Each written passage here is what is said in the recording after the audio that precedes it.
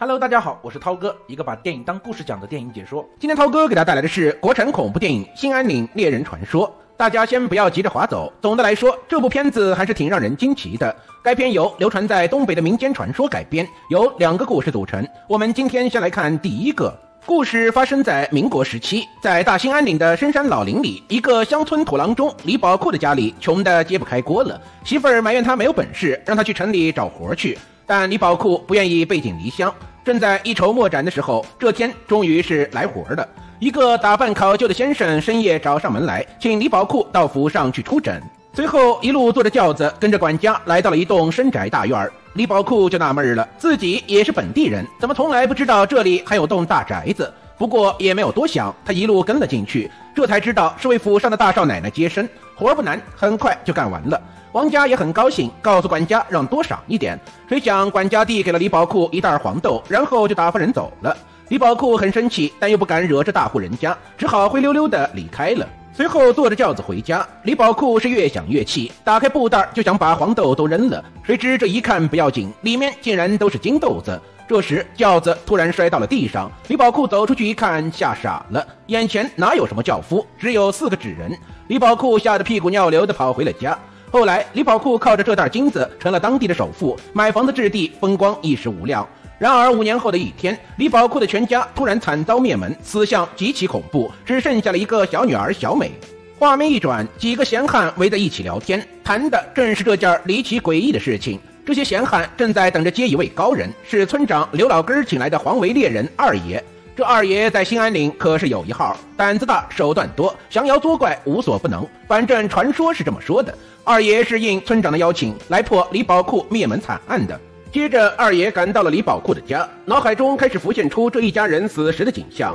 李宝库的老婆是受到惊吓后神志失常上吊而死的，大儿子小东北是淹死在了水缸里，李宝库则是被灶炕里的火活活的烧死的。从外表看，他们都是死于意外，并没有外力的作用。但如果不是人干的，那就只能是鬼干的。二爷听到身后的众人在议论纷纷，也没有言语，拿起一根沾满黏糊糊液体的柴火看了一眼。接着画面一转，村头的戏台上请来了戏班子唱二人转。村民们都前来观看，但大家的表情却一个个都紧张兮兮。原来二爷通过滴落在柴火上的口水，判定这一切根本就不是闹鬼，而是大马猴干的。大马猴这种动物会分泌一种物质，让人产生幻觉。李宝库一家三口就是被大马猴害死的。二爷想要抓住大马猴，所以请来了二人转，因为大马猴好看热闹。接着，大马猴果然只出现了，站在村头的山坡上看着一切，眼看就要进入二爷设立的机关。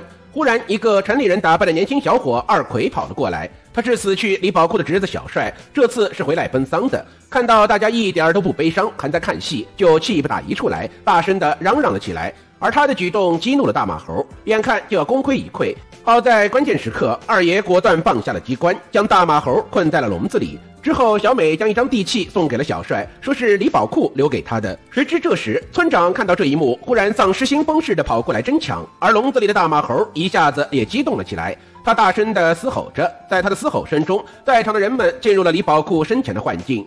原来，当初李宝库不是去什么大户人家，而是去老林子里的一户普通人家刘一水家接生。刘一水感激李宝库救了媳妇儿的命，于是给了一把金豆子。这李宝库就纳闷儿：这荒郊野外的，从哪儿来的这么多金豆子？而这刘一水是实在人，于是说出了实情。当年康熙皇帝到东北老家狩猎，结果迷了路，受了伤，幸亏被刘一水的祖上搭救。康熙皇帝为了感谢他们，就把一块有金矿的风水宝地赏给了他们家。而这刘一水一家一直恪守祖训，一直低调行事。刘一水请李宝库一定要保守这个秘密，李宝库是满口的答应。在送走李宝库回来的路上，刘一水发现了一只受伤的小猴子，于是带回家悉心照顾。这就是后来的大马猴。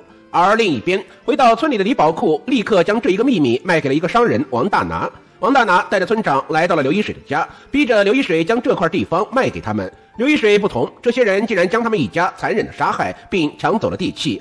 而大马猴目睹了这一切，于是为刘一水家报仇，杀了李宝库一家。画面一转，幻境消失，大马猴冲出了牢笼，带走了村长，消失在了夜幕中。为了寻找大马猴的秘密，二爷和小帅走进了兴安岭的深山老林。在这里，他们将会见到传说中吃人肉的老太婆。